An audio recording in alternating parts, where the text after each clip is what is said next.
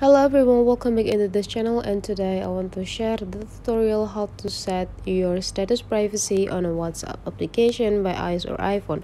So first thing we have to do is just open the whatsapp and after that to set the privacy you just need to go into the updates and when you already uh, in updates you just need to take a look on this upper right corner on these three small dots just click it and after that you just need to click status privacy.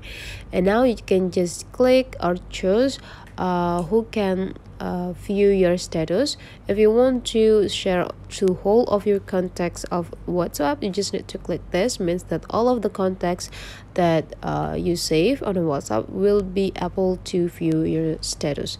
But if you want to like send to your contacts but you don't want to like uh, someone or several people view it you just need to go by clicking this my contact accept you just need to choose which contact that you don't want they to view your status.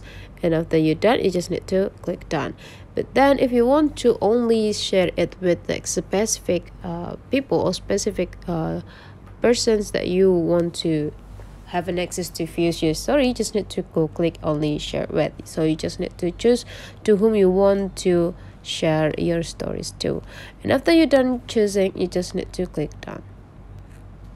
And make sure that you are in a position uh, so this check this blue check uh, symbol is in the options that you choose. If you want to share to specific people make sure that this checklist button is here. But if you want to share to whole of your contact you can choose here.